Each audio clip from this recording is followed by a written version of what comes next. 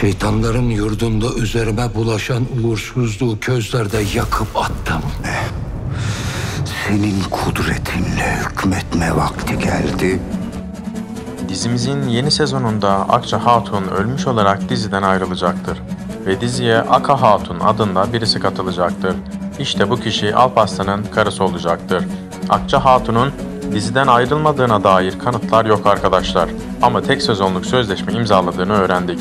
Maalesef Akça Hatun öldükten sonra çok üzülecek olan Alparslan bu sezonda Sultan ünvanını alacaktır ve Aka Hatun'la tanışarak evleneceklerdir.